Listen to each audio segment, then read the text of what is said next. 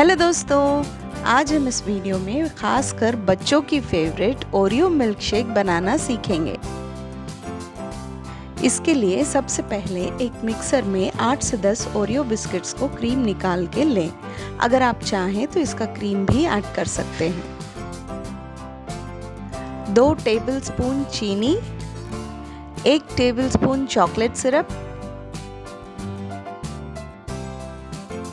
दो छोटे scoop chocolate ice cream ये मिल्क शेक को क्रीमी टेक्सचर देगा। अगर आपके पास नहीं है तो आप इसे स्किप भी कर सकते हैं।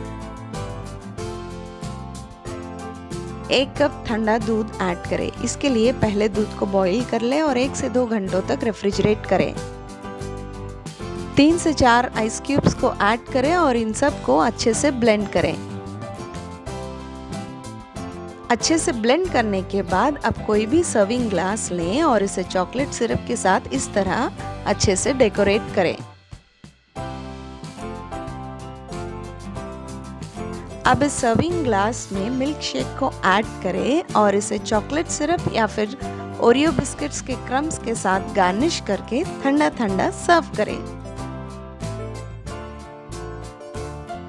तो फ्रेंड्स आप इस ओरियो मिल्क शेक को ज़रूर ट्राई करें और मुझे कमेंट्स में भी बताएँ कि आपको ये कैसा लगा।